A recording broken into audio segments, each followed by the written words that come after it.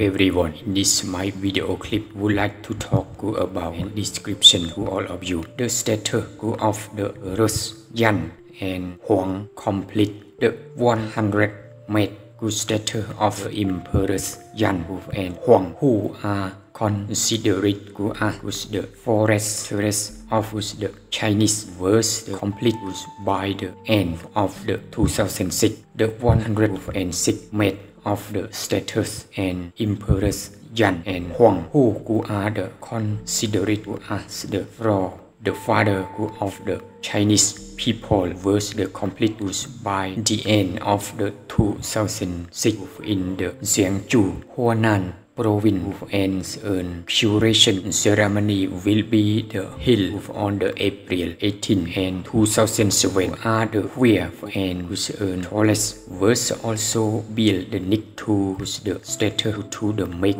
the complete monument to the emperors the square cover Gusam some maybe about 150,000 square and reach to the bank of the Yellow River. The altar is the 12 meter tall and square to 8.8649 square meter. Virus cultural activity including Riff and Folk Culture Festival will be held on queer after its new duration ceremony. The first being the Chinese cultural form National Yellow River Geo Sol. The menu will also be the built in the Jiangsu province before the, the, the end of the 2007. Dear everyone, which may be Impressor Yan and Impressor Huang of China countries may be about 106 meter tall,